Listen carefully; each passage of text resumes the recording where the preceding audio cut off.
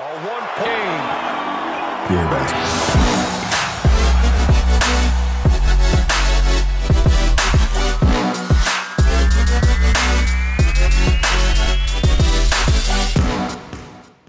Hi everyone and welcome on the Upset Media. Uh, it's a special episode today for us and we couldn't be more thrilled with our today's guest. One of the most vocal faces of the EuroLeague. He could have been a baseball player or maybe a Colgate model with such a large, bright and contagious smile. Uh, it's a real pleasure to receive who we uh, could have considered as a rival, but uh, probably most uh, um, an example for our podcast. Ladies and gentlemen, is uh, NCAA Hall of Famer, 74th pick of the 87 NBA draft. Uh, Italian Cup winner, Spanish League and Greek League All-Star, Spanish Cup winner and MVP, ACB League champion, League champion and top scorer, Saporta Cup uh, champion, and obviously a Real Madrid legend. Ladies and gentlemen, the owner of Crossover Podcasts, Joe Arlauckas. Woo! How you doing, guys? Seven, 74th pick or 72nd pick? I'm not sure. I, I, I, always, pick. I always said 72nd. Maybe I'm giving myself more credit than I need to. Well, maybe we can talk about second pick if you want. That's our pleasure, even. there's, there's, no such thing as a 72nd pick anymore, anyways. It doesn't really matter. Yeah. Yeah. Unusual stuff. All right. Uh, uh, the matter so... is that the, the draft was pretty loaded uh, back then. Uh, there is a lot of like current uh, NBA players. Do you remember all of them? The like the best NBA um, picks. I I don't remember all of them. I remember I remember some of the guys that I went to camps with, like uh, Cadillac Anderson, Reggie Lewis, Joe Wolf, um, you know Kenny Anderson, Reggie Miller.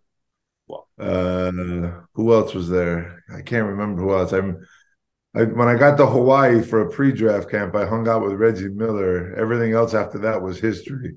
Billy eh, Billy Donovan, Billy Donovan was in that draft because we also hung out a little bit in Hawaii, and uh, we were we were fighting for the same girl. we, were, we were thinking about a quiz, like it's uh, it's uh, one of the thing uh, during your podcast, and we had the first question was about the draft and the players inside, and do you remember David Robinson, Scott Pippen, Kenneth Smith, Horace Grant, and Reggie Miller? That's a lot. Yeah, I mean, you know, I was actually um, uh, in was in Hawaii. I was in a dunk contest with Scottie in that in that draft. We we actually flew together from because I went to Portsmouth, Virginia, which was a which I was very lucky to get there. Very extremely lucky, by the way, to get there. But um, I had a big game the first night, and uh, I was playing against Joe Wolf, I think, who was the the four guy for North Carolina. And um, the same night, a guy from UNLV named Armon Gilliam decided to drop out of the Hawaii tournament, and uh, and they asked me to go because it was you know it was perfect. I was in the right place at the right time. A four man yeah. drops out, and they needed a four man. So I called my dad and I said, Dad, I said, um, that, that you know i came from a not a we were a very rich family as far as family is concerned but we were not rich financially mm-hmm. I said dad i said i have an opportunity to go to hawaii. And and he says we don't have the money to do that. And i said no no dad. I said they're going to pay me. They're going to pay the flight and and and they're going to of course my parents knew nothing about you know the the process and neither did i. And um and at that point you can't have an agent either so i didn't i didn't have anybody to to speak with. And they, and they they they said no you're going. And i said and i said i told my dad and my dad's like no no no you're not going. He's like nothing's for free in life. You have to pay. He's like they're not gonna they're, they're gonna they're gonna make me pay. I'm like no dad they're not gonna make you pay. I'm like don't worry. So i fought with him. I finally went and the long story is i sat i sat on the plane with scottie pippen to hawaii for 13 and a half hours and we never even said hello to each other. We were right next to each other. Wow. because of because of potential pressure or just no, because no, he was just ignoring? He was, he was, that kind of guy, you know. He's just that kind of personality. He didn't speak with anybody, so mm-hmm. it, was, it, was, kind of strange. But already, already had the growth spurs, so was looking tall and uh, confident yeah, already. very long and very, you know, very lank. I forgot about that until you mentioned, you know, in that, uh, in that draft. Yeah, it was a pretty good draft. I'm I'm proud to be in it, even though I was an afterthought. well, uh, still, I mean, uh, being part of NBA draft is uh, accomplishing a dream that everybody is looking for. So, whatever number it is, you can still say. You know what's funny is I asked that question to all the guys on my podcast, and and like to me, it, to me, it was never even a dream because I never thought it would exist. So I didn't want to dream about something that I didn't think was a possibility, you know. And um, I was drafted to play baseball when I was younger, but um, my dad wouldn't allow that, which was probably the smartest thing that that that was the thing that made me realize that dads actually parents actually know what they're talking about sometimes, you know. And uh, and it worked out for me, but um, but yeah, it wasn't. I mean, I'll I can say it was a dream come true because it happened not because it was something I fell asleep every night thinking about. You know, just, I, I was very lucky. I was in the mm-hmm. right place at the right time, and of course, to be in the right place at the right time, you also have to perform. You know, and that's and I was lucky in, in both of those aspects. I was in the right place at the right time. The right people saw me, and I performed at the right moment. Yeah, well, still a bit of luck sometimes, and I guess well, we we had a question about baseball because we you discussed it with a Will Clyburn a long time ago in the podcast. So, uh, Damien, if you want to ask your question, I guess already answered a bit about it. yeah, that's the point. But you were sick back then uh, during your, your time in, uh, in college and university, and and you fought to to to be better, to to get uh, to get in a better shape, and you end up to the draft. So that that's weird. You say that it's not a dream. It was not a dream it really wasn't a dream because I never thought coming from Niagara University that it was a possibility. You know, I, I, I think, you know, I was thinking more of Europe because I had a roommate who whose brother played and coached in Europe. He was a player coach, so I had that possibility in my head. You know, but until I until I I found that I had a letter one you know one letter here and there from an agent um, who ended up being my agent, even though that's a great story also in in, in Portsmouth. But um, he ended up being my agent for my entire life until he yeah. passed away, and, and, and, his his son and I are still in in contact, and um, and I mean he really took care of me, and you know I was again I I continue to say that I believe everybody's lucky in one way or the other. Some people, you know, if you're if you're LeBron James, if you're Michael Jordan, you don't lucky, you don't get lucky. You just you just made it, you know if you're Joe Arlauckas, then you have you have to get lucky somewhere along the line to have the right breaks.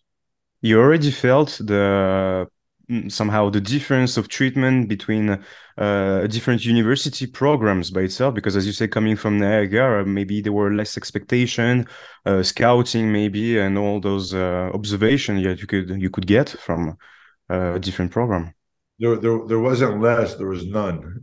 mm, that, that's even worse than expected. Yeah. So unfortunately, my, my, my second year, my sophomore year, we beat St. John's. It was the first time we had ever beat St. John's, and that was that went somewhat public. I had twenty points in that game, and yeah.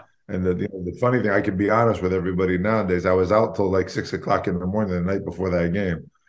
and, uh, and because we just didn't think there, you know, there's no way we're going to win that game, and you know, and I essentially played that game not feeling very well, but uh, but I got some publicity out of that. But you know, that but that was like halfway through my sophomore year. Then there was never any more publicity after that. There was nothing else that followed up. You know, that's like a what what, what we say in the states. You're 15 minutes of fame. You know, mm-hmm, mm-hmm. definitely. I enjoyed it for that time and. And then, like I said, the, the lucky part was I, my senior year. I played against a guy named Brian Rowsom, who um, think he now coaches in Qatar or, or whatever. And he was a projected number one draft pick. And and I went, you know, we never played against it was North Carolina Wilmington, as you know, a, a, a, good school, but not North Carolina, North Carolina. And and I went and I I had no idea anybody was going to be there. I just went and with the attitude that I was going to kill him. You know, that was my my my instinct was the this is the only time I'll probably play against the number one draft pick. So I want to kill him and yeah, um, I, cross on the schedule. yeah, and I did, and uh, and it just so happened that Marty Blake was there. Marty Blake was the head, the head trainer or the head scout for the NBA, and that's how I got invited to the tournament in Portsmouth. So that was my my first lucky break of many. Mm-hmm. Definitely. And the third thing is you're the last one drafted from uh, Niagara. I am. no, I, am I? I read that. Yeah. I assume you so. know- Yeah. You know it. You know what? It's it's it's very possible because I think just a year or two after that they went to um they went to two two rounds only. Yeah. So that that's very possible. Uh, I'm not. I know there was another kid after me who who set. I don't know if he set the scoring record or not. I can't remember his name, but he ended up playing in Greece with me for a little bit. Like my last years, he was he was a young guy playing in Greece. I forgot his name now, but but yeah, it's very possible because now there's only two rounds. Yeah. Well, they, they- look an, another another little uh, another little quote on my on my you know when when I pass away and die, I was the last the last person drafted from Niagara.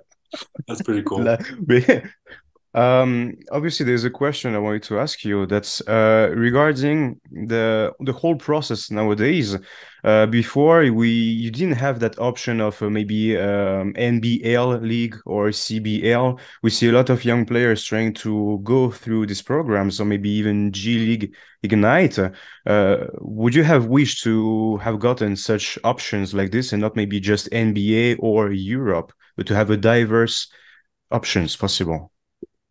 I think the only thing that was available when I was playing was the CBA, it was Mhm. the Continental Basketball Association. Yeah. But um, but I, I don't even again because I never because I never thought the NBA was an option. I never thought the CBA was an option either, and and and I think it's kind of like um I don't know. You know, I, I did I did a podcast the other day that's coming out, you know, with Lorenzo Brown, and he's been you know on 14 different teams in the last 10 years, and and you know six or seven of them are G League teams, and he was telling us about you know what it's like to be on a G League team, and and man, it, you know, I have a lot of respect for those guys that keep that dream alive. Mm-hmm. you know.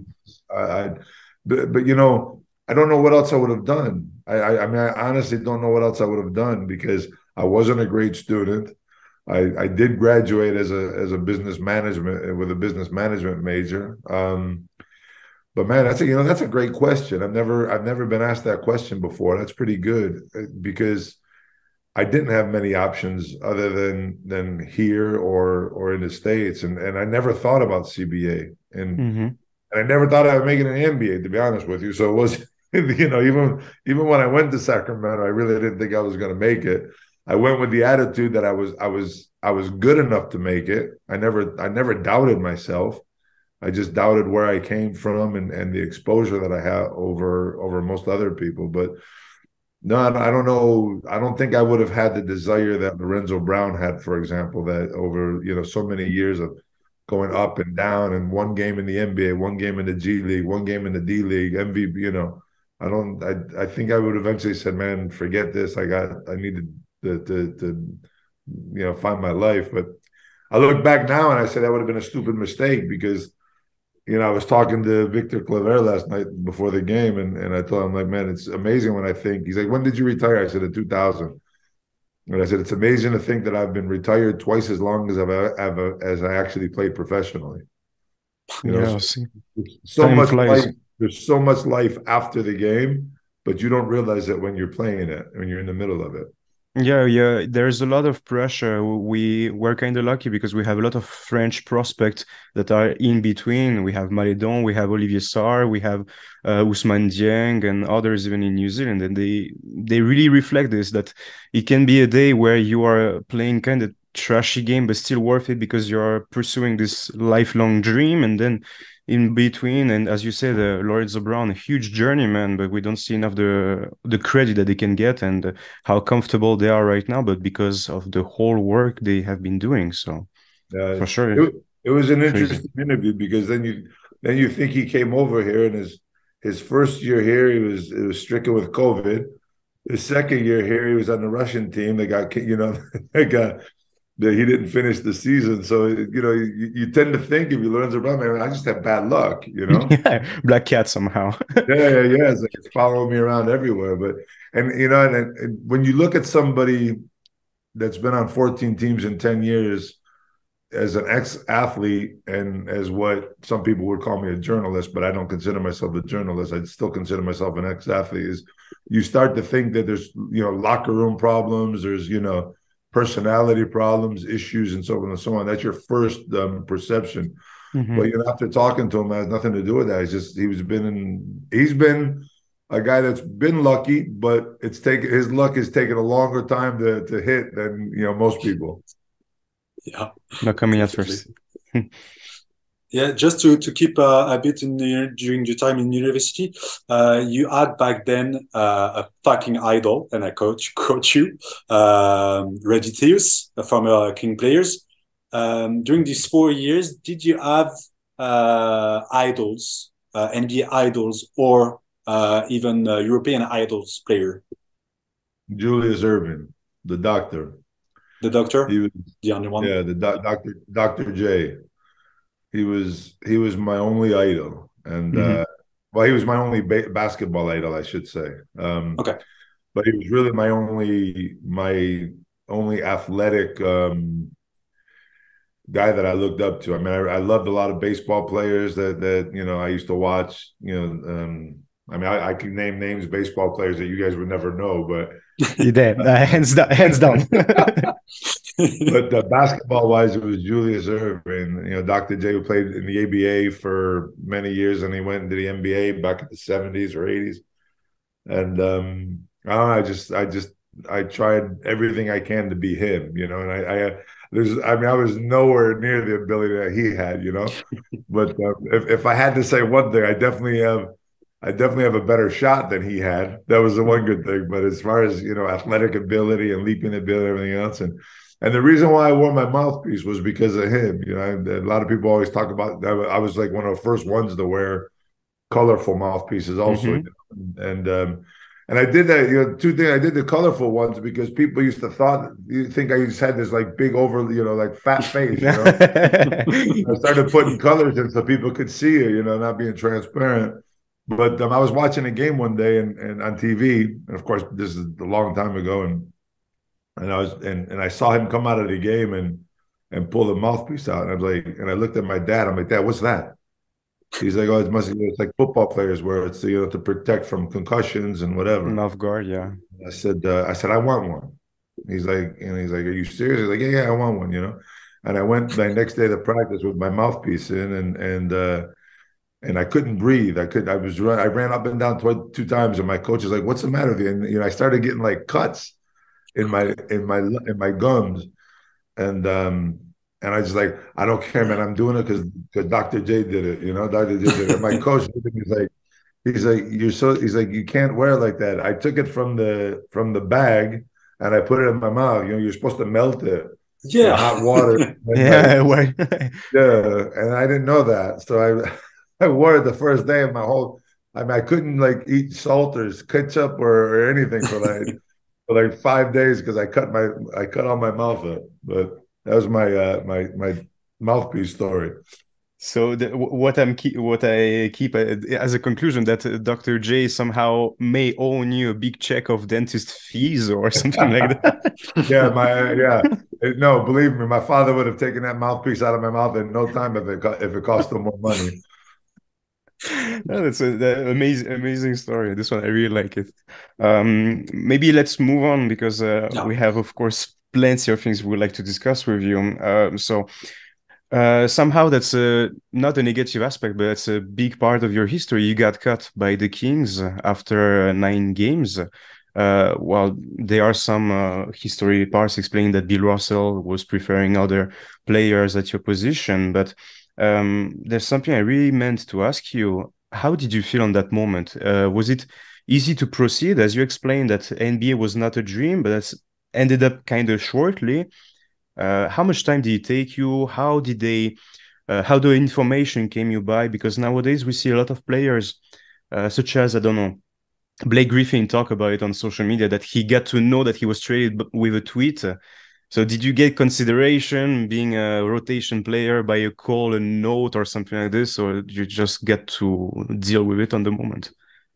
This is one of the craziest weeks of my life to be honest with you, because there's the cutoff date, which was December 15th. I don't know if it's still that same date now or not. But um, I was playing with a guy named Michael Jackson, who played at Georgetown. He was a, a point guard for Georgetown. And uh, Georgetown's coach John Thompson was best friends with with Bill Russell.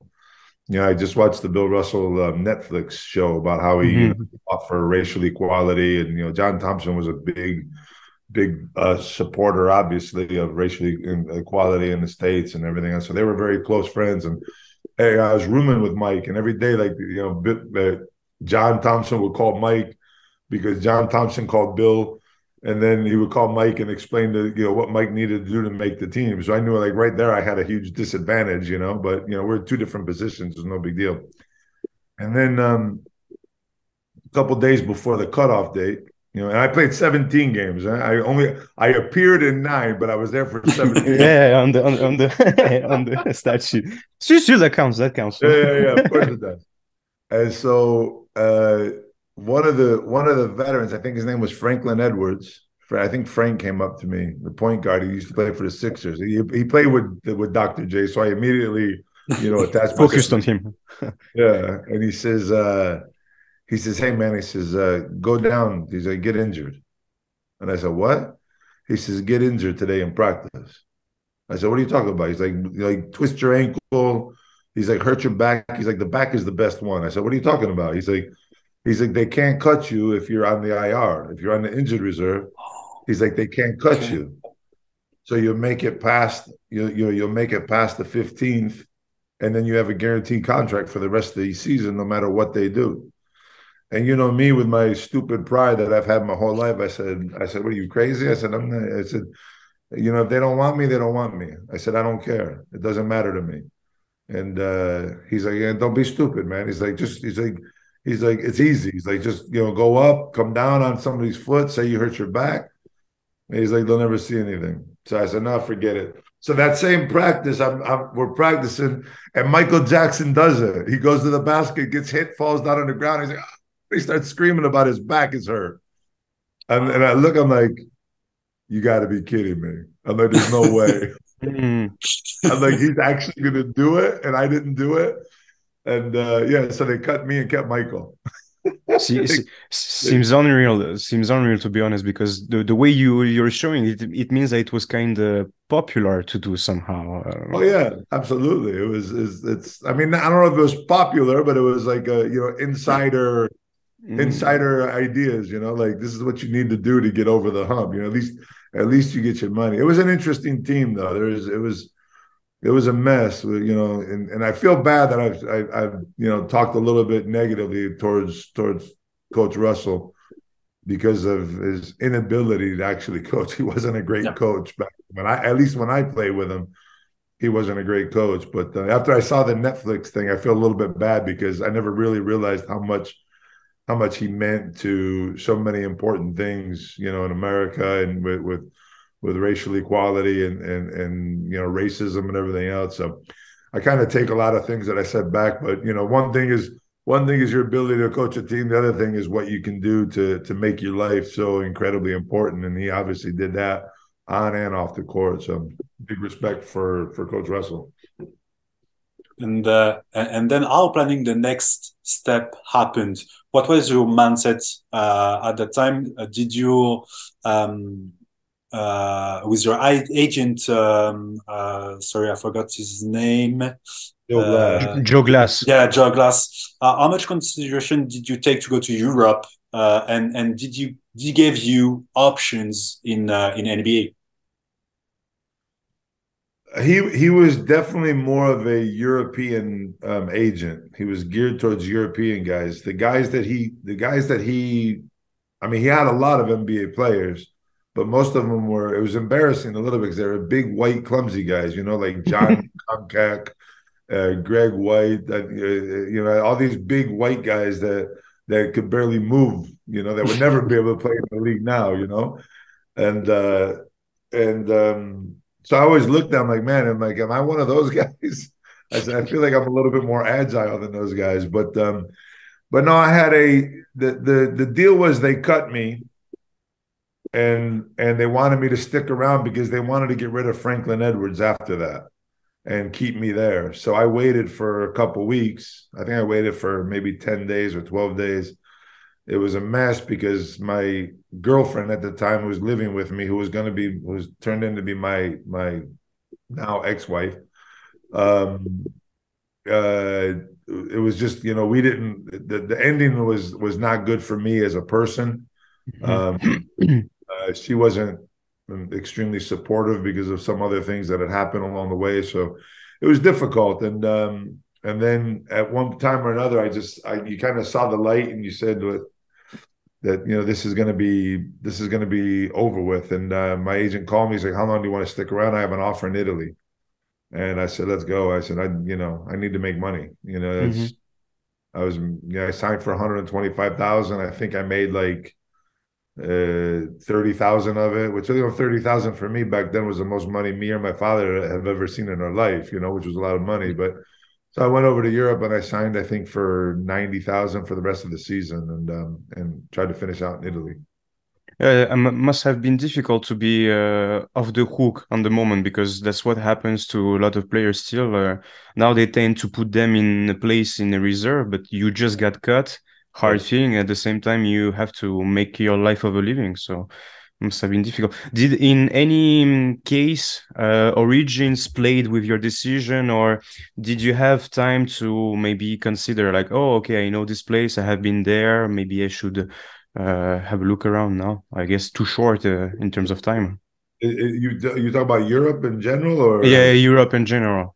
Man, I'm, I tell everybody in every interview I've done, I'm one of them dumb Americans that never learned anything about Europe. If you had asked me where France is, I would have somewhere. yeah. I mean, I, I was one of those guys that thought Spain was down by Puerto Rico, you know, isn't because, it, or by Mexico because they spoke Spanish, you know.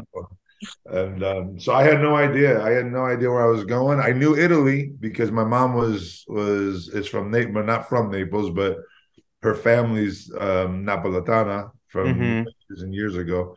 So I knew Italy, and we all knew Italy because we grew up as an Italian family. So there's that boot, you know, that you see on the map. Like that was the only in grade school, you know, when you had to do the maps, you know, and like name the countries. That was the only one that I could name in Europe. That that and Russia were the only two that we actually knew. So yeah, I was one of those dumb Americans that um, that don't know where they're going or what they're doing. And when uh, you get that offer from Italy, um, how are they putting it on the table? Well, that's through your agent, but are you are they giving you some um how can i explain like are they uh, ensuring you role minutes uh, and also in terms of, of the organization we have a great parallel with the nba because we get uh, players such as Evan Fournier or Marco Belinelli that uh, talked about it in uh, Gazzetta dello Sport. That uh, you just have to hop off a plane, luggage is accommodation, everything is dealt. Uh, but back then, how was it working? Moreover, that's not uh, towards NBA here; it's towards Europe. So how did they get you somehow with money? But are they giving you uh, other incentives or things like this? I mean, it was definitely money. Um, my agent I believe, lied to them and told them that I was seven foot tall. because when I got off the plane in Rome, they they wouldn't take me to Caserta. They they called they were calling all over the place to put me back on the plane and to send me back home because I was going to substitute Giorgio Glouchkov, who was the Bulgarian guy who was like mm-hmm. seven one.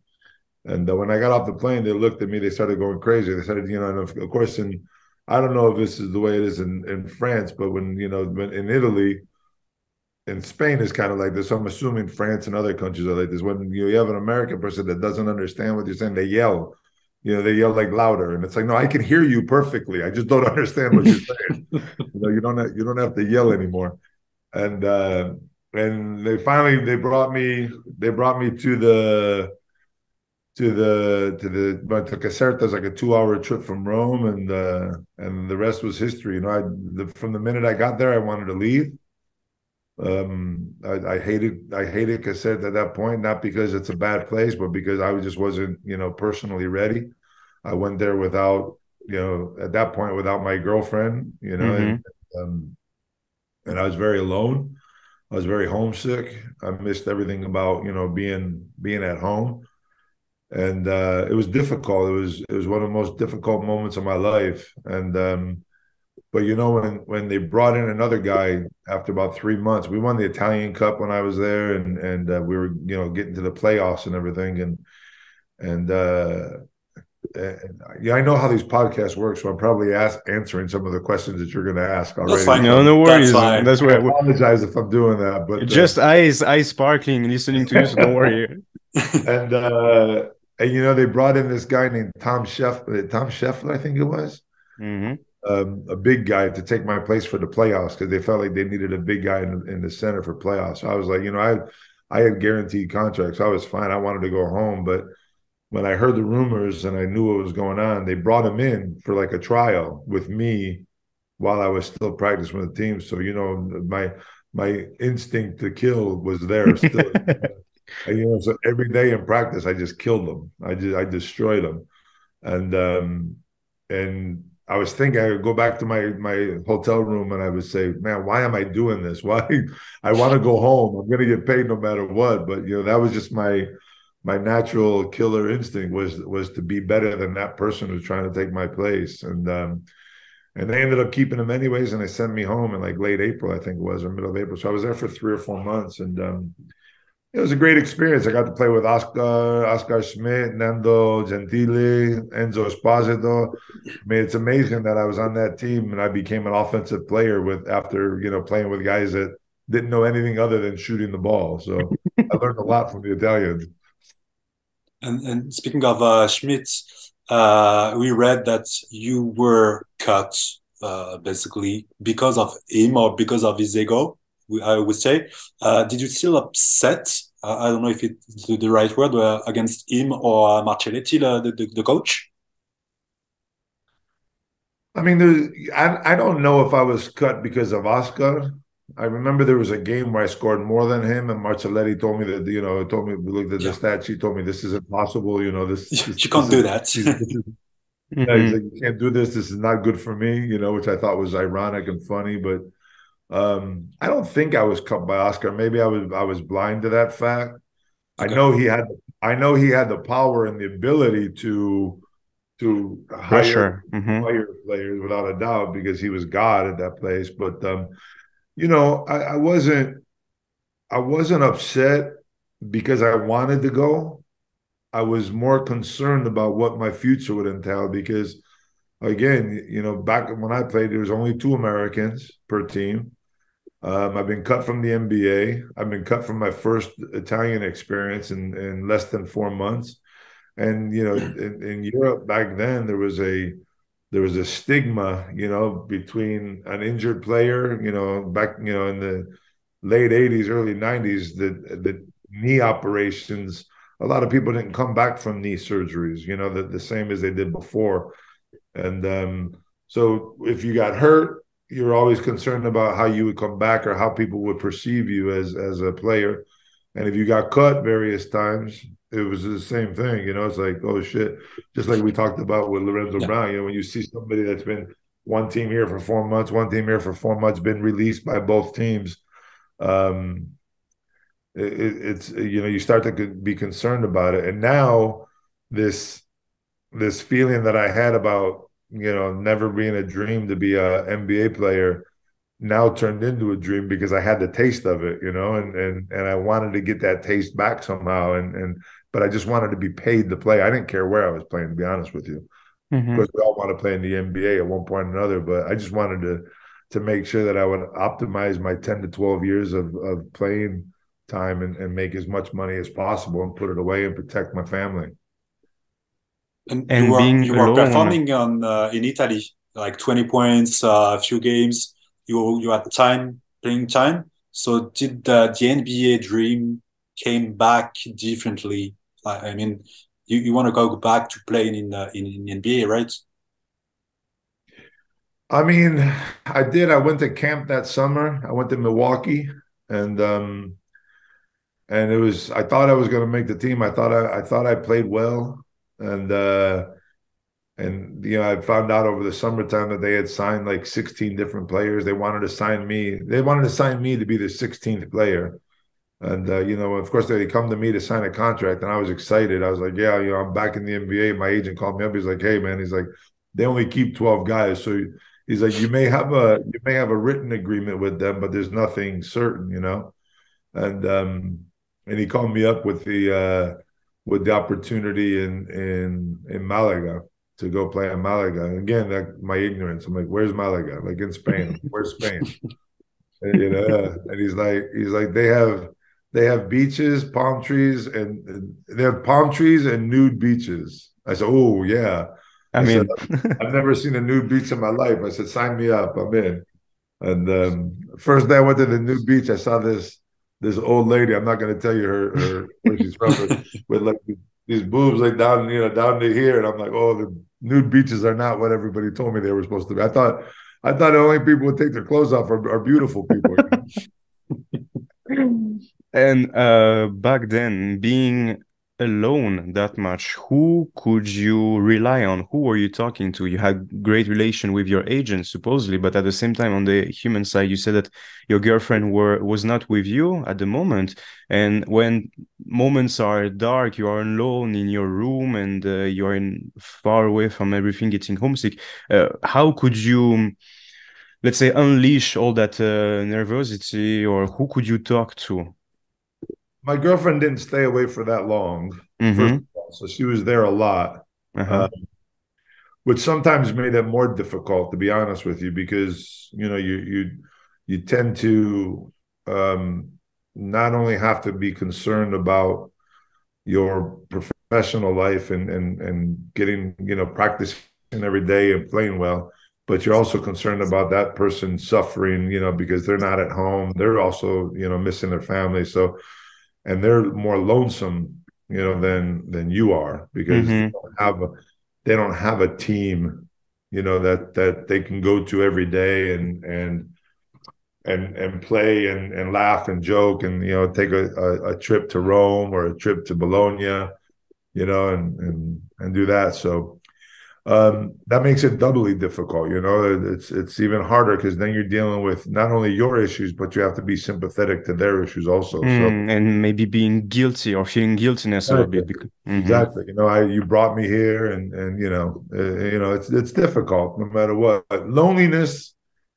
loneliness is much more difficult because it's it's because you're alone. I mean, but you know there was times where you'd rather be alone also you know, mm-hmm. you, you know if, if, i'm going to suffer through this you know i'd rather suffer myself than than to put someone else through it with me also you know and um but we're selfish at times and we we feel like we're in love and and we feel like we need that companionship there and and you know sometimes we get addicted to drama and and instead of just being able to say you know let's clean slate go um, I'd rather do this alone because I'm you know, I'm bringing you down also.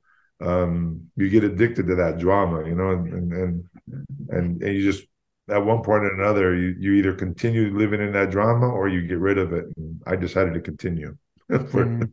for whatever reasons. I have I have three kids from it, which is kind of good, but yeah, you cannot wipe it either. Still playing plenty of positive things. Yeah. So, so time, time have... flies. Mm-hmm. Yeah, uh, let's let's jump about uh, uh, to the Real Madrid period. Uh, February 1986. You know everything about uh, this uh, exceptional performance against the Virtus. 63 points with no threes, 11 boards, two assists, no, four no, steals. No, no made threes. I but one I, attempted. yeah, one attempted, right. and that was at half court at the end of the at the end of the half. I want you to know. but but the funny thing is, how did you manage to do it with on one side the assistant coach telling you to pass, and in other side the coach Obradovic uh, telling you to shoot, to keep shooting. Who who listens to an assistant coach when Zeljko's your head coach? At one point, end of the. That's the point. yeah. No, no, no. You know, it wasn't.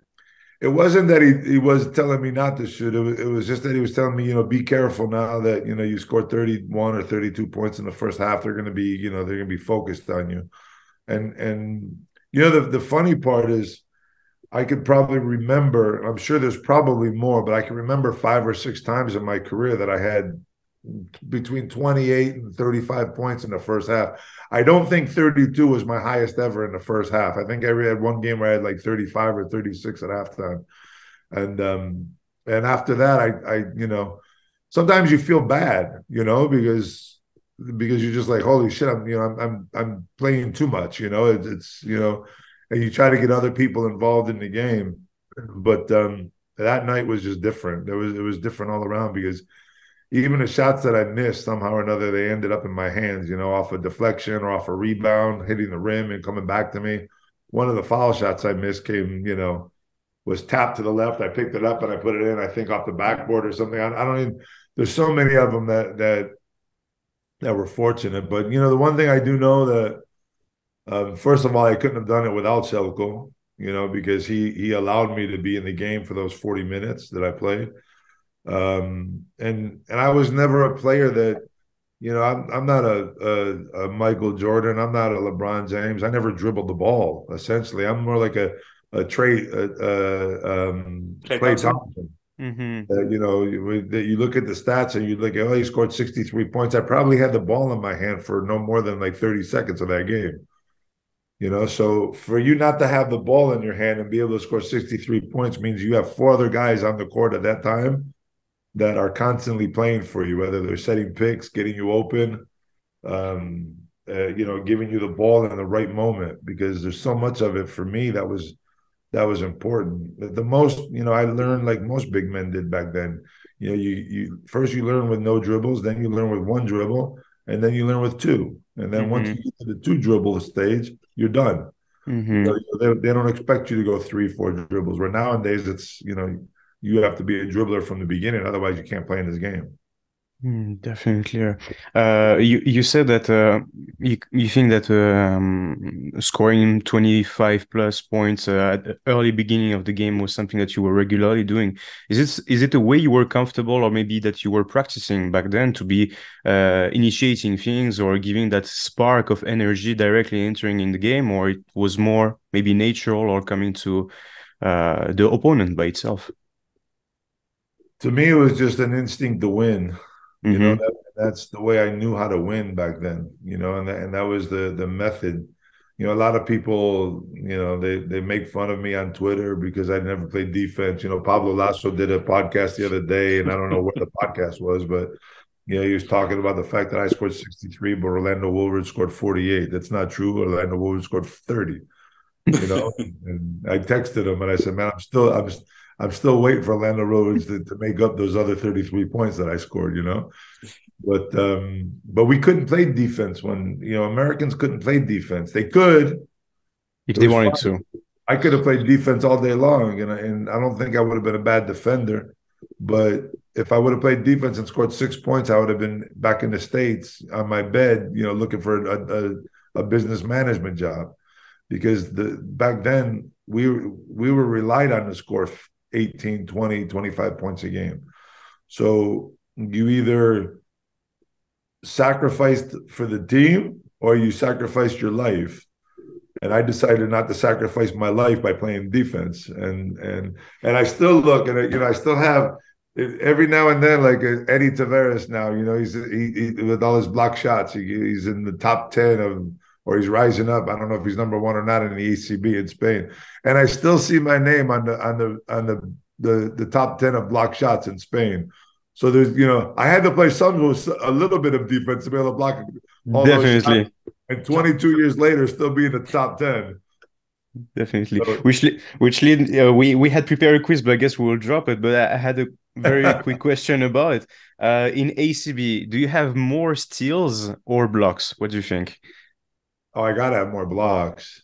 You have more steals by about 50. You have uh, 389. You have 315, uh, sorry, 389 steals and 333 blocks in ACB. So about 50 more. That's what Somebody I meant. Put that on Twitter so I could uh, I could send that out to all the people that think I don't defend. de- de- definitely. Uh, arguably, we, we can I, I honestly consider you as one of the European players that played with the biggest amount of legends, stars, uh, however you want to name it. Um, and it led me to one question. You, of course, you had Arvydas, you had uh, your great time with Obradovic.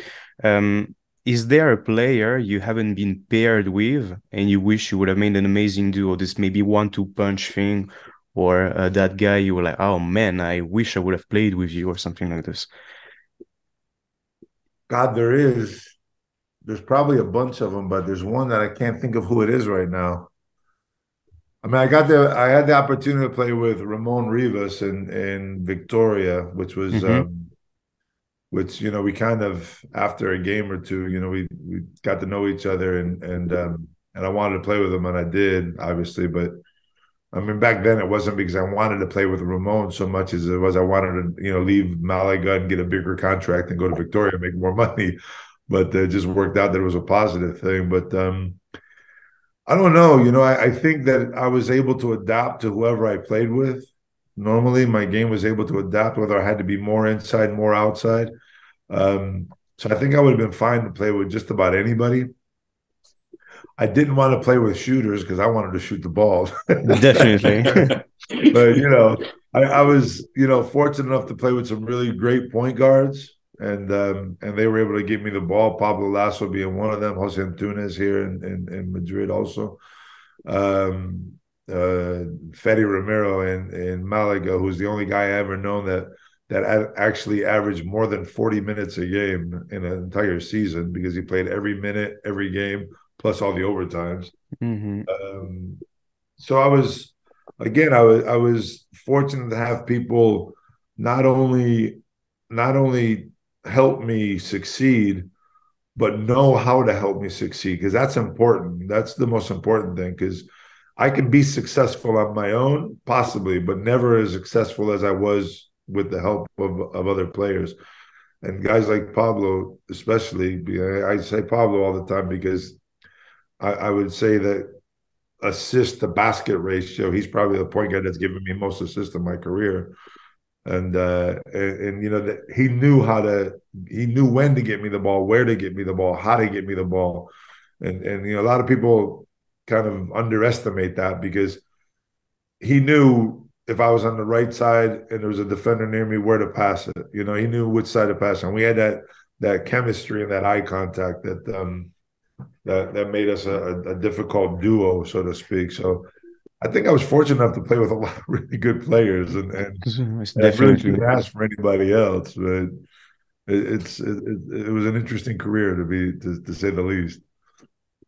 Do you have any regrets as, as a player? Uh, we heard you say that uh, playing for Scariolo could have been nice.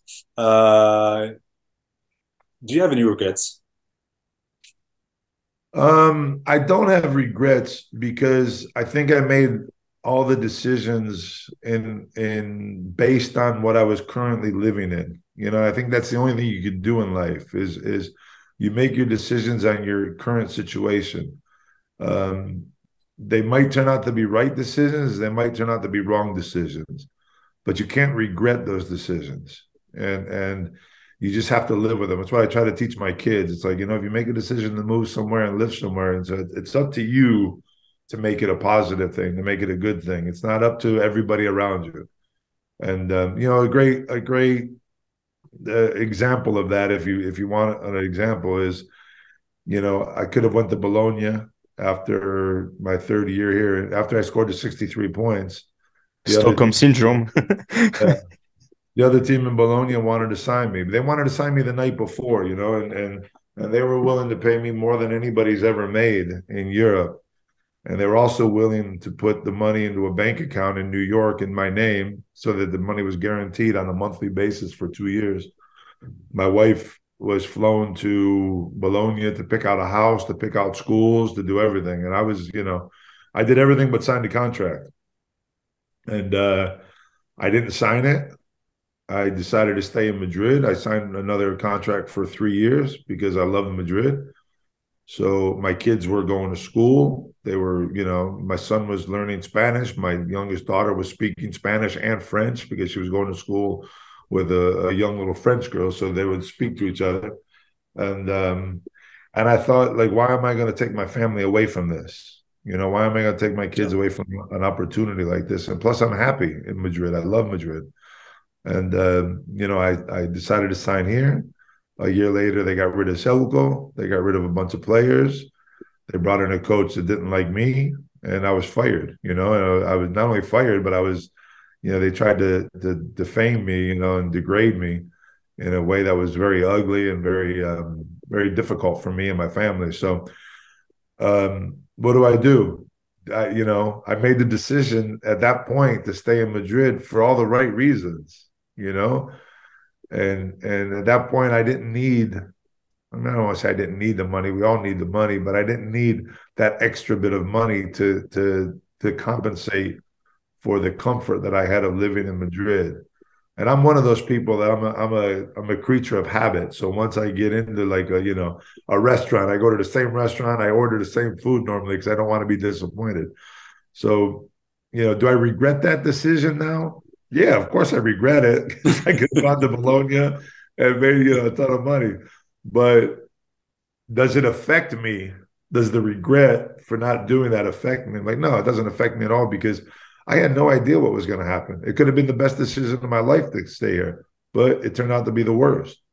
And um, and that's just what happened. So no, I don't have any regret. Is you know, I mean, I got to play with Zeljko Obradovic. There's a couple other coaches that I would have liked to possibly play for. George Karl was one of yep. those coaches that I would like to play for when he was here in Madrid for that year. So I talked to him and um, would have loved to play for George. I think him and I would have got along just well. But um, uh, no regrets. No, I mean the only regret I have, honestly, is is is not taking care of myself physically as much as I should have.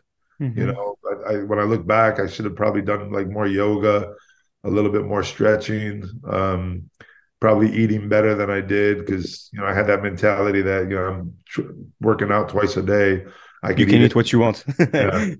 You know, drinking was always an issue for me. I like to go out and party and have a good time. So you know, if, if there's any regrets, it's it's more personal things than it yeah. is decisions. You know that I could have done better for myself as a as a as a as a performing athlete, elite athlete. You know, but you don't consider. You know, I don't. I don't never consider myself an elite athlete like they say. You know, it's just it's so funny. It's just what I wanted to do, and and I don't know these guys nowadays if they if they think of themselves that way. I mean, I thought I was incredible. I thought I was the best because I didn't know how to play any other way. But I didn't mm-hmm. consider myself this amazing athlete because I never had the body that some of these guys have either nowadays. Well, I guess it comes uh, afterwards as well when you when we talk about legacy, maybe stuff like that, or how the others are telling the story for yourself. I don't I don't know. Maybe the the way they see you, they you understand afterwards what you've made or how you really impacted the game or whatsoever. I, I, I was with a, a, friend of mine who loves basketball. He's not. He's he's only been a friend recently. The last mm-hmm. I met him. I met actually met him through Fabian and, mm-hmm. And his wife and Lucy, and uh, and we've become friends. And and my wife was out of town during the finals of the the Barcelona Madrid last year ACB. I haven't seen an ACB game in seven years because I do so much EuroLeague stuff that I just say in the weekends I don't want to I don't want to pay attention. And uh, we go to the game, and it was the first time I've ever been actually in public with him, you know. and we and, and we go to the game, and and this guy comes up to me. He says, "Oh my God!" He's like, "Can I take a picture with you?" And you know, he's waiting outside for to give the tickets or something. I'm like, "Danny, let's go inside. I said, let's go inside, please. He's like, no, no, no. We have to stay out here. I'm like, no, we need to go inside. And all of a sudden, you know, the first picture, the second picture, the, the third picture. He's like, oh, that's why you wanted to go inside. I said, yes. yeah. I said, I don't want to be out here all day taking a thousand pictures, you know? And uh, and and and it's it's uncomfortable, but it's flattering because I'm 57 now. So I look back, I'm like, all the pictures I didn't take when I was young because I thought I was a superstar, you know, or mm-hmm. God. You know, now I take them because I, I feel blessed. But I try not to get myself into big situations. So one guy comes to me, he says, he says, "Oh my God," he's like, "Joe," he's like, Look. he's like, "Mr. Arlauckas," he's like, "You," he's like, "You've been my idol since I was a kid, like a young kid." I just looked, at. I says, I said, "Man, you need to find different idols." Having me as an idol, and my friend Danny Fab, Fabian's friend looked at me, he's like that's the funniest thing I've ever heard. You actually tell people, I'm like, yeah, I tell people that all the time. I'm like, I am not an idol to anybody. I shouldn't be. Well, trust us, we are we are three to have you today. We're keeping somehow the poker face, but uh, I yeah. understand what what you're describing. you you're giving us the perfect transition because we're going to talk about uh, what you're doing nowadays. Listen, I do these podcasts. I know what I'm doing. Nah, so we know. Uh, com commenting and uh, having a podcast for for the EuroLeague. Uh, how did that transition came up? Uh, did mm, the EuroLeague came up to you and asked to present something? Did you pitch them something? And uh, you also said lately with uh, Luigi Lamonica that you do not enjoy watching game that much. Uh, so as, is as an ex-player, yeah. Yeah, as as an ex-player, of course. And uh, is this a way to keep being close to uh, the EuroLeague, the whole podcast commenting thing? Man, that's a that's a, a loaded question because there's Yes. so many.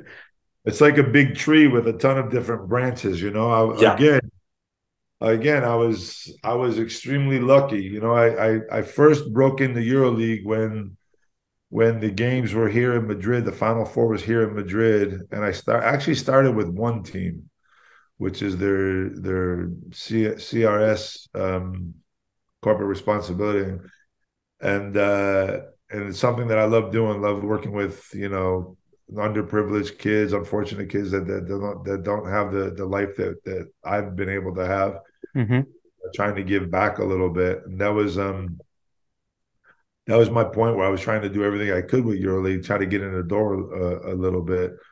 Uh, I did some Spanish broadcasting here in in in in um, Television One. It's called the national television, and it went okay. But um, yeah, then Johnny Rogers, who was working with EuroLeague, uh, decided to move back to California to because he was a scout also a year uh, I think for the Clippers at that point or or or maybe for Oklahoma City I'm not sure and uh, and he told Frank Lawlor who's the head of the media department that um, that he should he should give me an opportunity. Now the funny thing about that is Johnny Rogers was cut from Sacramento for me.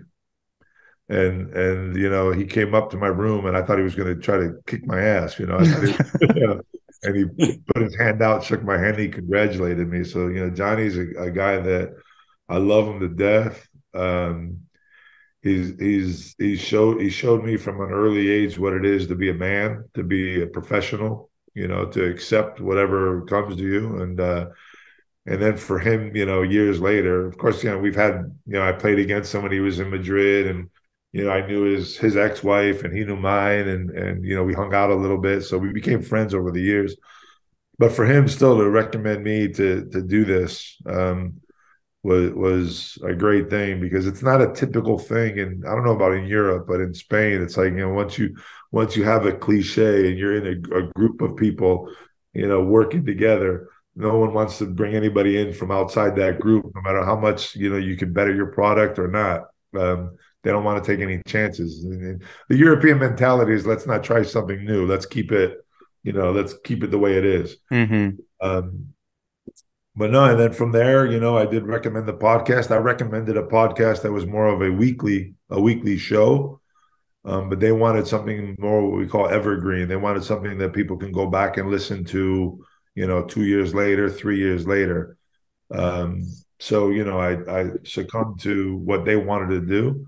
Um, it was it was difficult at first because number one, it wasn't what I wanted to do. Number two, it was like it was difficult to to form to get some sort of form on, on the the questionnaires, and then you try not to make it identical also, which is hard to do because once you get into these things, you know they become.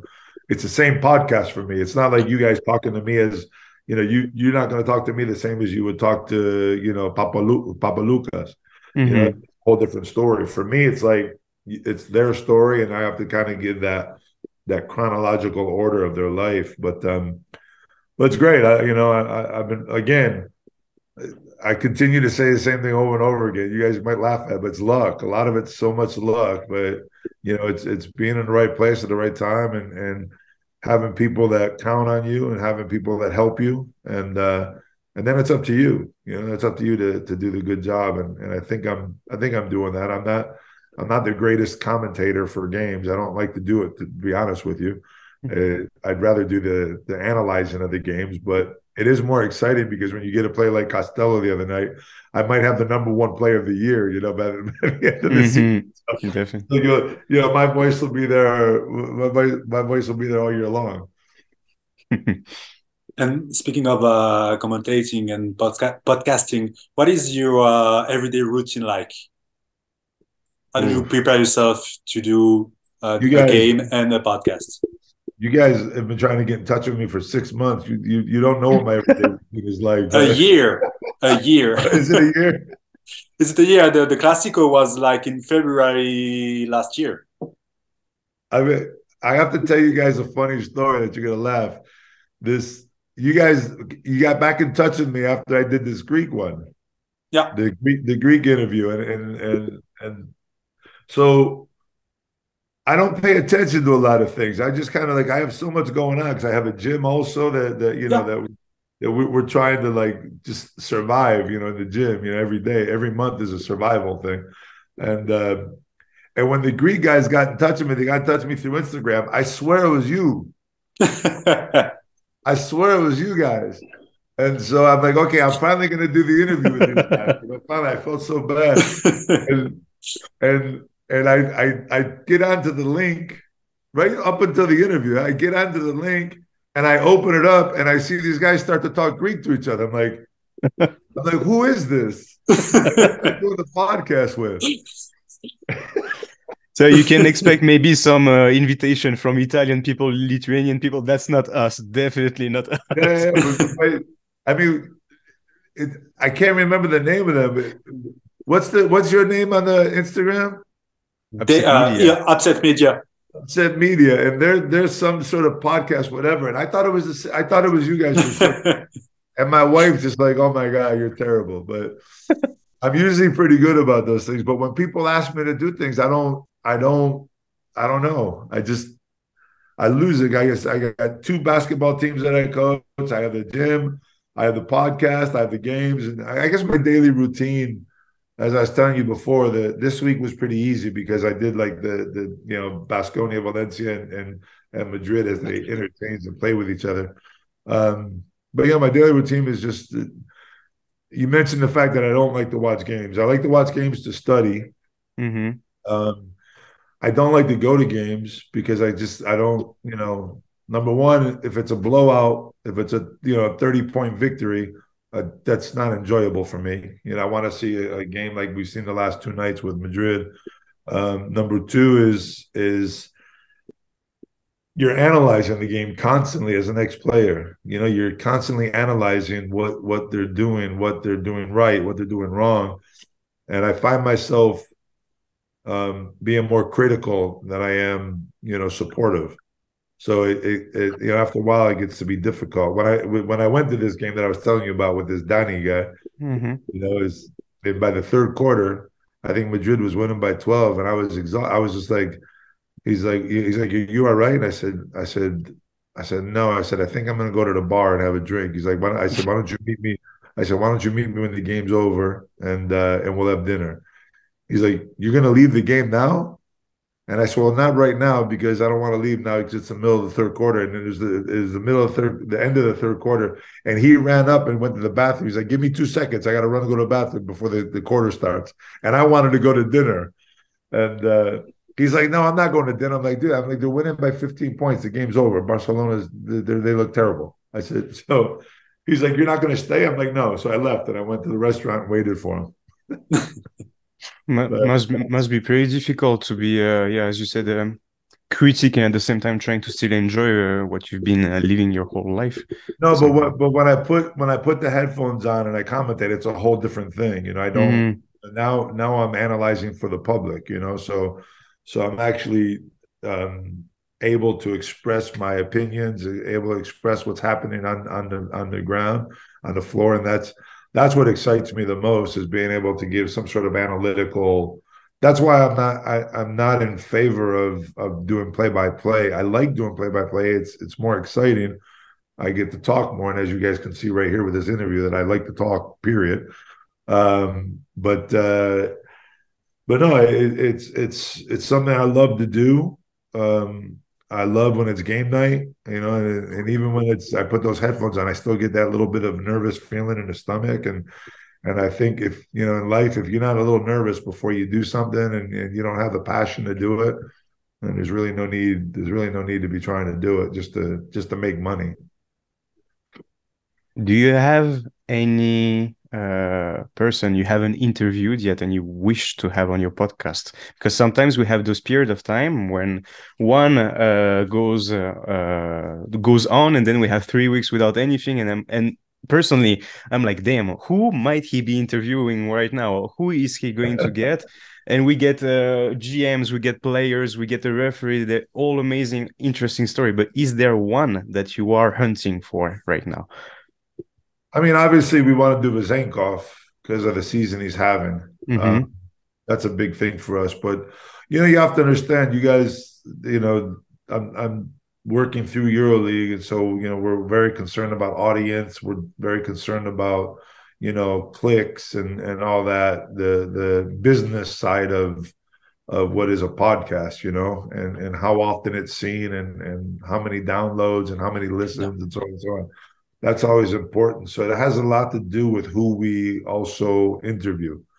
You know, I mean, it's it's you know, I I, I spoke with Markus Howard, for example, uh, the other day when I was in Basconia, and it was the day of his birthday. He scored zero points in the game, you know, and and and they, and they won by thirty nine or something, and. uh I mean, you know, I, I talked to my guy, man, he's just a good guy, you know, the way he talks, blah, blah, blah. Like, but you know, Basconia doesn't have a lot of English speaking people, you know, number one. Mm-hmm.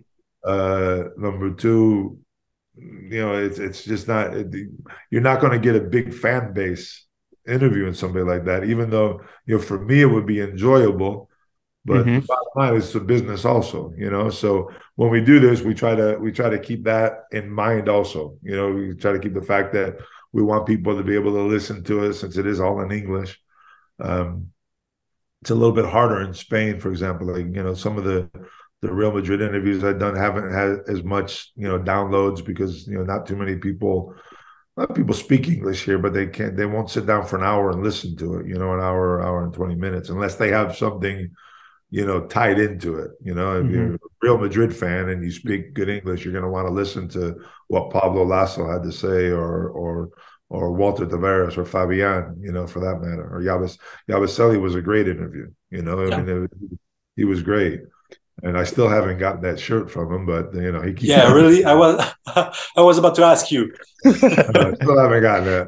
I'm like, I'm like, man, would you stop being French and just give me what's what you what you owe me? he just laughed at me but um, so a lot of it, yeah. I mean, there's a lot of people I'd love to do, you know, and, and I really enjoyed Luigi Lamonica. I thought it was it was eye opening for That's me. Mm-hmm. Because I never I never realized so many things that referees have to go to. And now when I'm commentating the games and they make a bad call, Luigi's made me feel bad about you know calling them out for a bad call. But uh, it was great. I mean, the, the whole part about you know them knowing what the situation is at the end of the game, you know, knowing, yeah, especially this you know, part, yeah. to call the foul, where to call the foul so that they don't get into trouble was to me it was fascinating. It was so eye opening. So, and that's one of the things I tell everybody. I, you know, in every interview I do, I learn something new, and and a lot of times I learn even a lot of things new. Xavi Pascual to me just opened my eyes with a lot of different things. You know, the coaches are really the coach. I, I get super nervous before I do coaches I can control players, but I get super nervous before I do coaches because I don't, you know, I know they know a lot more about basketball than I do. So it's like, you know, you're trying to you're trying to show you that you know just as much as them, but some of them coaches are so damn smart and you know they they they've forgotten more about basketball than I know. so let's continue. I don't know if you have time left, but yeah, I'm good. Uh, I'm good. I've, I've opened up my calendar for you guys, so we're good. Thanks a lot. yeah. Let's go about uh, talking about uh, EuroLeague uh, current season.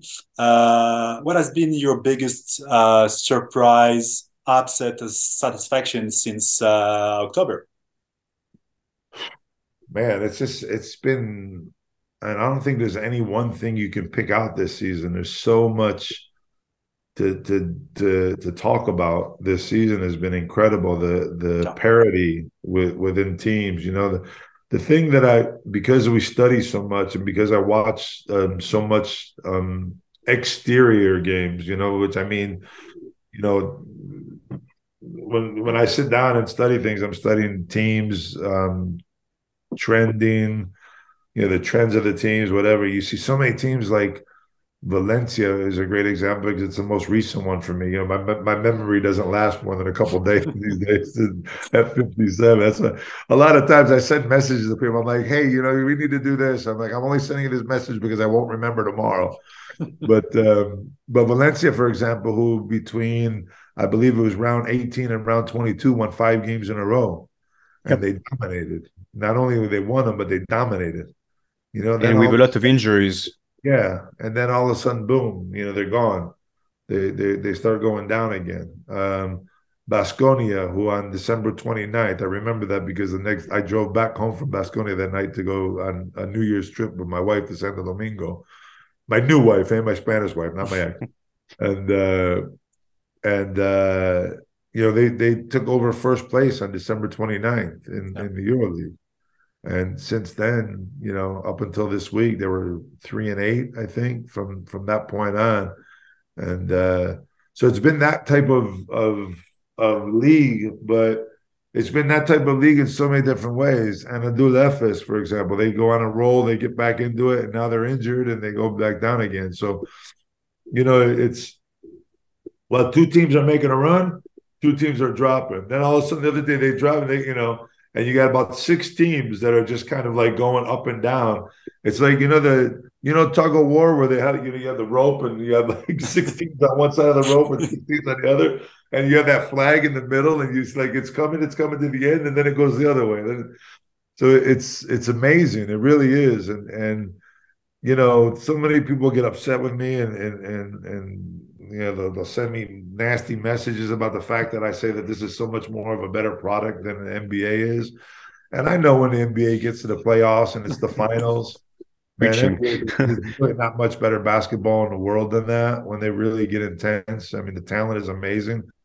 But this on a nightly basis, on a weekly basis, is just absolutely amazing. It's it's and I'm not saying it because I work for it. I would say the same thing if I wasn't working for your league and I wasn't part of your league it's it's just the intensity is, is amazing. The fact that you know Alba Berlin one night in last place can go out and beat you know Barcelona mm-hmm. or Olympiacos. You know, I mean Olympiacos lost by twenty the other day. Yeah. You know, I mean, it's I, I, I forgot who they lost to. I don't know if it was Milan or Milan. Yeah. Yeah. Uh, yeah. Lost by twenty. You know, mm-hmm. and, to me, Olympiacos is the number one team in, in the league by far and the way they play and their ability to, to, to play in big games. So I don't know. I mean, there's not one thing that I could call out that that makes it more special than, than anything else. Just the fact that there's such a traffic jam in the middle of the pack, you know, between four and and 13 or 14. I mean, last night in week 27, there's not one team that was able to clinch a playoff spot. Mm-hmm. That's amazing. It's never been like that. You know, we had we had a debate uh, not that long ago, actually, discussing how uh, how was this EuroLeague season so far for us, and we agreed to say that maybe not the best of all time because it's extremely difficult to track back, but definitely one of the most, if not the most intense, because yeah. one win can actually move everything. We were talking about Crvena Zvezda not long time ago, uh, considering that they are done, and actually we have two wins in a row, and everything comes back. Milan is coming back, and they're getting closer to Maccabi. It's it's just amazing what's happening.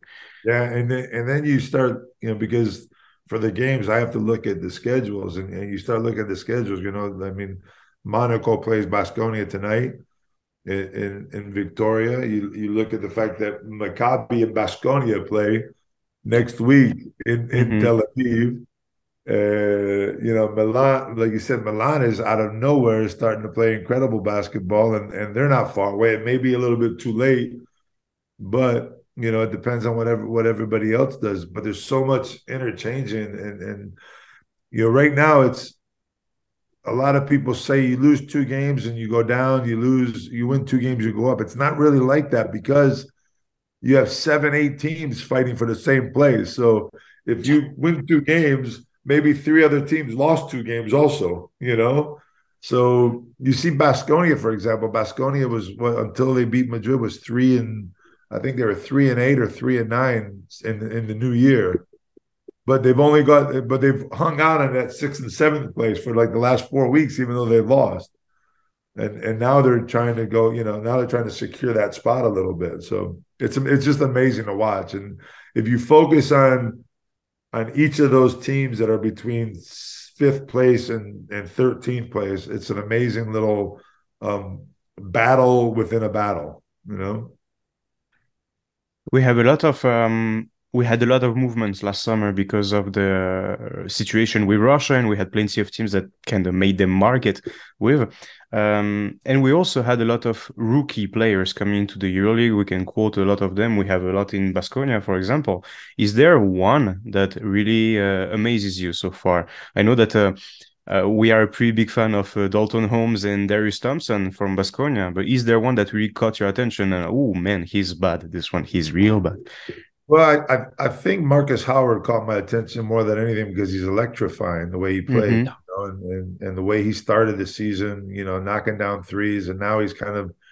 I mean, I don't want to say he revamped his game, but he became a player that now he's trying to get to the basket a little bit more. But you know, you see guys that that you know it's tough in this league to to score on a consistent basis. Mm-hmm. As you know, coaches, scouting, you defend it differently. You know, you, you put more helps on other people. So it's normal that Markus Howard's production has gone down a little bit as the season wears on.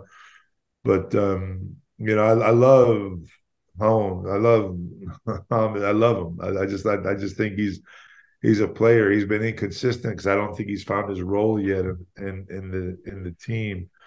Um, but that's that's changing. But uh, you know, the last couple of games, Darius Thompson has been absolutely ridiculous. I mean, you know, and then young guys like Procida, uh, you know, that I just think is is is a baller. I mean, he's just got he has that that that thing, man, that just you know that makes him makes him a great player, and it's going to make him a great player.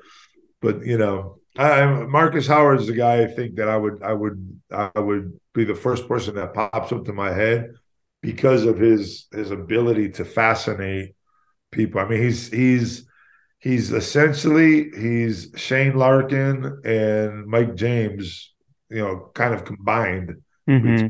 two of them. You know, he has the ability to get to the basket, he has the ability to shoot the three from deep at all times, and and um, but uh, man, Darius Thompson is just you know what I love about Darius Thompson is he just shuts, he just shuts the hell up. He doesn't say anything, man. I saw him in the last couple of games get beat up every time he goes to the basket, and you never see him complain about a foul. You never see him talk to the referee. He's just kind of like within himself, and and and I think that um, that says a lot about a player because it's hard in this league to not not bitch and complain because there's a lot of contact in the EuroLeague, man, that, that isn't called.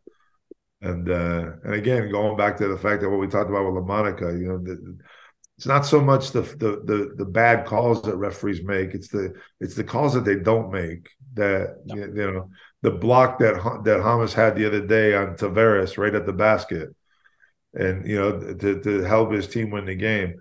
How easy would it have been for a referee just to blow the whistle and call that foul? Mm-hmm. Of course, you know, and instinctively just blow the whistle, and and even if he blows the whistle and says, "Oh, it was a mistake," you break the rhythm of that game and it changes the whole game. So you just forget about the importance of of of you know the referees making that call. But again, Darius Thompson, he's not affected by any of that, and he just keeps balling out. I, I love watching him. So yeah, I mean, Basconia always brings these new guys in. You know, they always do this on a yearly basis, and, and they perform well. So any, whenever he asks me about rookies, I always look at Basconia first. But there's a lot of guys around that are good players. And Howard is actually lucky to have Thompson that is uh, more leading than the than the beginning, having this uh, incredible uh, uh, assist to turnover ratio because he last game 18 and 14 with one turnover is great. It's amazing. And somehow Howard is not getting the blame because he played seven minutes. He's defending more. Now there's more scouting on him. And we are not talking about it. That's also a show of a great team and great collective that after all, uh, the star is having troubles for a few games. Nobody talks about it because others are caring. That's what makes it interesting. Yeah, you know the, the teams are attacking Markus Howard a lot more. Also, they're they're they're making they're they're finding the mismatches and they're putting the bigger guys on them, and they're attacking them offensively. Because you've seen a lot of games lately. I think in in in Italy, you know, he played. He scored ten points in the third quarter, but I mean, he was on the bench for most of the time with three fouls. Um, so they're, you know, they're, you know, you the, the best way to the best way to stop an offensive player is to make him play defense, you know. But you know, they used to say that about me too. But since everybody said I didn't play defense, I didn't have to, so they couldn't stop me on the defensive side. uh, um, now let, let's talk about just the, the playoff race. Uh, so we have Olympiacos, Real, uh, Fenerbahce, um, Fenerbahce, and Barcelona. Then, what's your uh, opinion on the the four next? Monaco, Basconia, and and and then give me your prognostic. I mean, I think Monaco is going to be there for sure.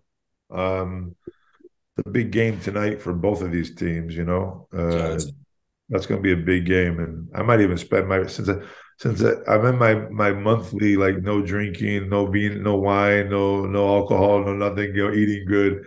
I might stay home on a Friday night and watch a, a EuroLeague game.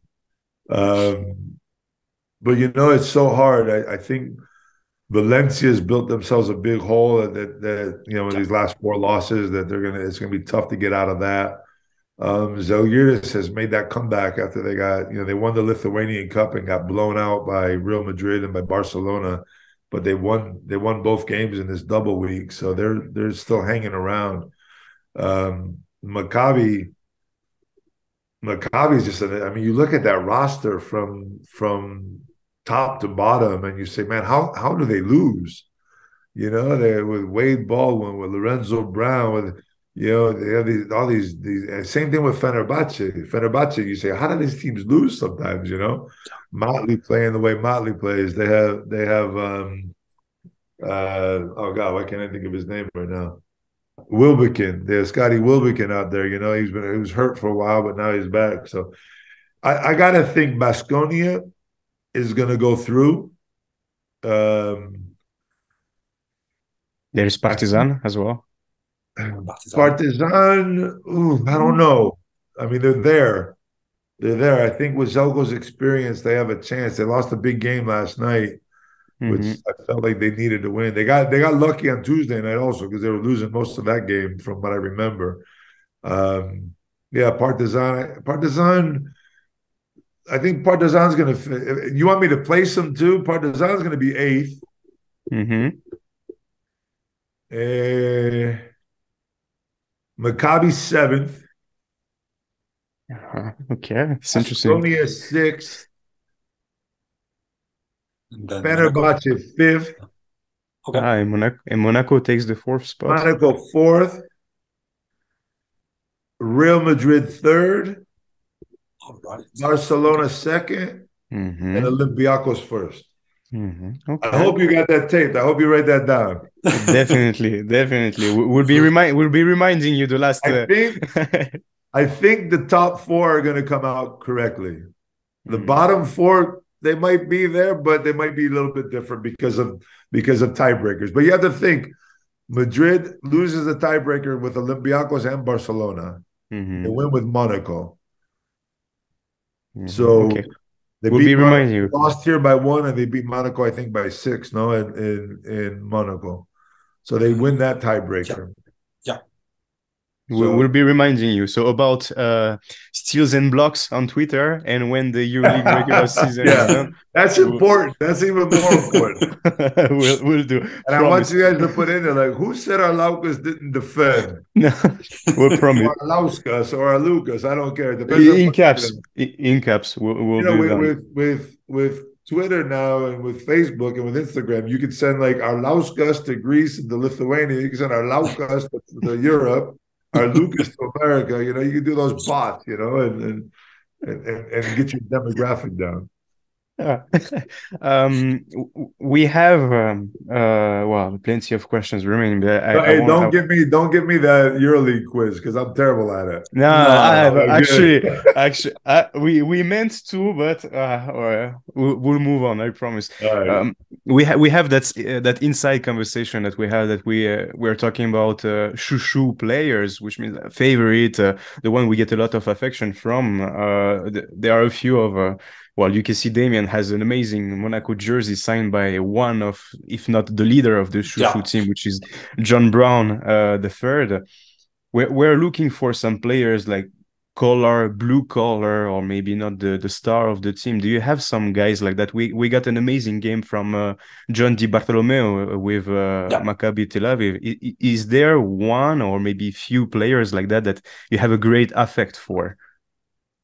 Yeah, you know, I think um, I think uh, you know when people ask me questions like that, there always seems to be one person that pops into my head, and then I try to think of other ones. But I think I have to go with Mathias Lessort, the way he, yeah, the way he's uh, interacted with the fans in Belgrade, and and the way you know every time they win a game, you know he's out there, you know, jumping around with the fans, and and uh, so I think uh, I think he would be the the guy that because my biggest thing and I was lucky personally that I, you know, it, it, was the way I played more than anything else. But for some reason, the, I was a, the fans were attracted to me because when I played, I, I tried to involve the fans into the game. They they they motivated me. They made me a better player, and I always tried to appreciate that. You know, the big basket. You know, you look up to the fans, whatever. So I never did what Lessort's doing. I never got into the middle of a crowd and you know jumped around and danced like he does. You know what I mean? But uh,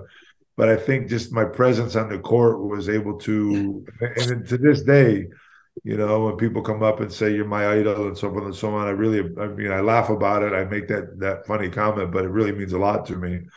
And um, and you see a guy like that, you know, enjoying his time here in Europe, you know, and and, and man, this is just the you know, it's such a fortunate thing to be able to do to play basketball at this level, to be to play basketball with with these fans, and and you know, I love to watch people enjoy it. I I I, I hate to, you know, there's a point of my career where I let my fame and my popularity uh, get away with me, and and not be as close to people that I should have been. Uh, so when I see guys that that open up to public, open up to the people, open up to the fans. And, and today it's not easy to do, man, because you get killed on Instagram one day to the next, one bad game or one good game.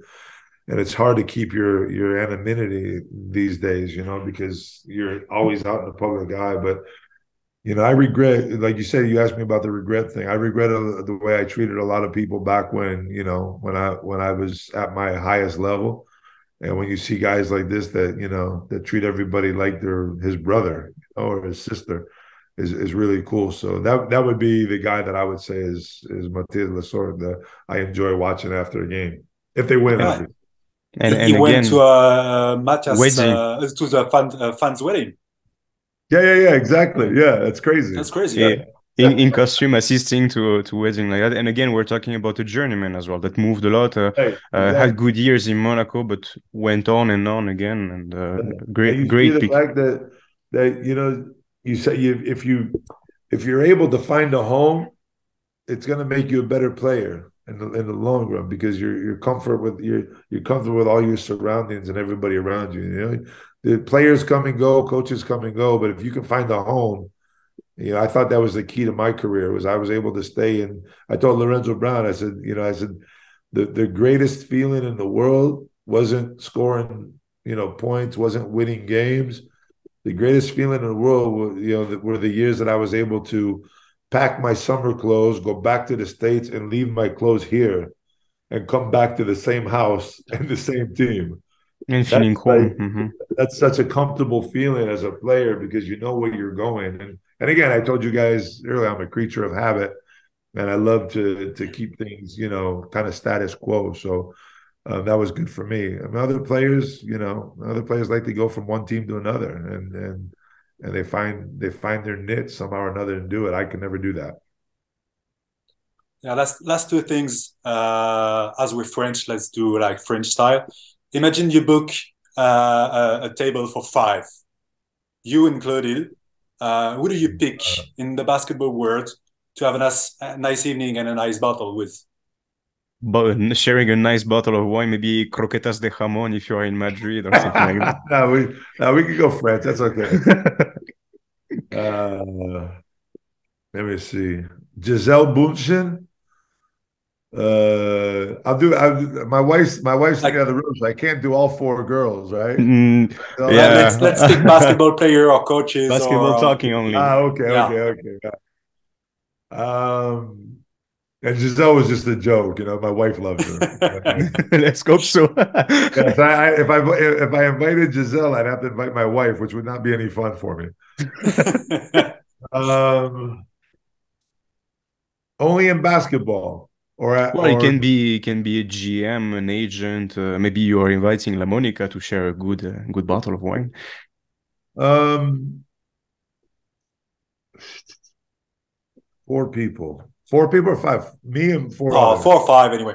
Uh, doesn't matter. Uh, Table is yours, so up to you. I mean, because of the after party, Zeljko's always invited. You know, Mhm. Obradovic will always be there because we'll do a bottle of whiskey after the after the dinner. Um, he's one. Julius Erving, obviously, Dr. J, Of who course. I met in London and was intimidated and didn't take a picture with him. So I'd, have, I'd like to come back and take that picture again. Um, I don't know. Off the court, I'm not sure, but you know, Michael Jordan would have to be there because because to me, he's the greatest player of all time. You know, without a doubt. It's hard to say that because I was a Julius Erving fan, but MJ would MJ would have to be there. Um, let me get one or two more. Oof. I have I I have a strong feeling that uh, Bill Russell and maybe Oscar, Oscar Schmidt are not coming uh, to the to this table. Uh, unfortunately, Bill's not with us anymore, but even if he was, I don't think he'd be invited. That's because he doesn't like French food. It's not because I don't. the, the, okay, we'll, we'll get to that. Um, you know, I'm gonna I'm gonna regret when I hang up with you guys. I'm gonna regret not saying somebody that I'll remember later on. But um, well, you I'll- can I'll- you I'll You send can you write by us. Instagram. Yeah, I'll send you by Instagram. Uh, let me think. One or two more. Uh,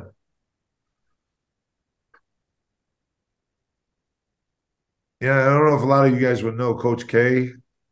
Coach K from Duke. Of course. definitely, I yeah. don't know if a lot of listeners would know who Coach K is. I think um, I think he'd be a guy that to, that would be cool to sit down with and, and, and talk and and I'll go I'll go off the table, off the basketball world, and I'll go into the acting world and I, I'll say Bill Murray. Ah, All right. Good, Yeah. a good, a good pick. Yeah. Yeah, he, he, he- I mean, he's the guy that I always the, when everybody asks, like, if you went on like a, a like a twenty four hour um, car ride or you know Mhm. trip, who who would you want to be in the car with? And Bill Murray's the one guy I always say that you know. So of course I'd have to invite him for for dinner. I just he knows much more about golf than he does about basketball. But my wife was amazed. I was in a, a tournament in Greece that I'm an ambassador for, and he was there. He was invited to the tournament, and my wife was like, "You're like a little kid." He's like, "You're like all these people that come up to you." Like in restaurants and in games and, and in concerts and like and they bug you and you like oh my god this guy's gonna bug me this guy he's like you're the same way with Bill Murray. He's like you won't leave him alone. And I said I've loved this guy since I was like 12 years old you know? I mean he was a part of my life since I was 12 from Stripes and Caddyshack and all those those incredible movies when I was a kid. So yeah he'd have to be at the table too. But I'll let you guys know if I remember somebody else Sure. Remember, this is this is the case that my wife sees this. This is basketball and everything else. She's not invited. Yeah, we're gonna From- cut, we're gonna cut to the part of uh, with uh, Gisele Bündchen. I mean, there'll be I, s- I'd, I'd have to invite Sabonis too, just so that he I can have someone else to hang out with with Zeljko after the after dinner. a stronger, a stronger bodyguard to protect you in case uh, it could be good. yeah. And uh, believe me, Savas is a bodyguard. I, I've had to carry him out of a few places. Believe it or not, he's not easy to carry. I can imagine. Uh, well, I guess you're pretty warmed up now. That's that's going to be our last question. Uh, five of all time. Uh, you can include yourself definitely, but uh, and you can pick uh, all time players, active players, up to you. But give us your roster. My my the the You're, best, you're five of all time, including you. starting if you five of all time. Yeah, Mhm, starting yeah. five all time. Could be Uh, ten if you if you this is so hard. This is so hard because you, you can't take you can never take magic out of the point guard spot. That's that's number one. Um and you know because you you look at guys like Steve Nash, you know, and and and guys that were just absolutely amazing point guards, you know, the uh, Jason Kidd, um, John Stockton, but the problem was Magic was Magic. So you know, Magic has to be the point guard. Um, there's one position I'm going to struggle at, uh, but Michael's definitely my two. Yeah. he's he's going to have to be my two. Well, there's actually two positions I'm going to struggle at. My first one is is is the three spot. Uh, you know, and it's definitely between Kobe and and Le, and LeBron. Um, so many bad things were talked about, you know, Kobe over the years when, you know, when he had some personal issues and so forth and so on. When I got to meet him in Dubai and I got to hang out with him a little bit, you realize not only that he was an amazing person and and but I mean his talent was was amazing and and I don't know, I I it's not it's not because I don't like LeBron. I just don't like the way he went about things. So I'm going with Kobe as my three. Um, oh man, I'm gonna tell you what. My four man is gonna be. My four man is gonna be, and this is out of the ordinary, but I'm gonna put him at the four. And I'm going old school here. Let's go. Uh, uh, Hakeem. Most people Wow. will put him at the five, but I'm putting him at the four. Well, enough mobility for him to be play to be playing for, I guess. Exactly, Okay. exactly. I mean, now nowadays, nowadays, you know, he wouldn't be a good four because he can't open up the floor. But um at my five, check this out, just to finish off the interview. Bill, Bill Russell. Neat. Has to be. Yeah, Perfect. Yeah. I got to go with Big Bill for at, at the five spot. So that'd be my that'd be my starting five. I guess it, it, it might win uh, a few games against Alba Berlin or even Olympiacos. You should, you should, you should We- get a few things. We might be between like we might be between that sixth and fourteenth spot in the EuroLeague right now. Trying to clinch. Hey man, we hey, most of those guys are so old. It's probably true. well, Damien, do you have any other questions? Hey, you, No. you know, you know, you know, you're old when two of your top five are not are, are not living anymore. That's that's Yeah. that, yeah, Mm, the, the little sad part about it. yeah. No, I think we're good. Like, thank you a lot. Thank you a lot. It means a lot for us for our podcast. Maybe you have an advice for us uh, to finish the the interview. An advice to keep going, finding players to interview, finding coaches, uh, talking about European basketball in France. How how how can I give you advice? I had I had you guys waiting for a full year to do this. It's hard. It's hard to it's hard to nail people down, you know, and and, and to be really honest with you, um, people say they're busy, but they're not really that busy, Mhm. you know. they choose to be. and and yeah, they choose to be, and and and I, you know, I, I'm gonna admit I'm in that category also. You know, I'm I'm I'm fortunate enough to have a lot of free time in my life, but when I do have free time, I like to enjoy the free time the way I like to do enjoy it. You know, and uh, and it's been nice to actually reminisce a little bit, kind of turn the table, and you guys ask the questions and me answer. So um, I, I regret the fact that we didn't do this before. Uh, We made know, it.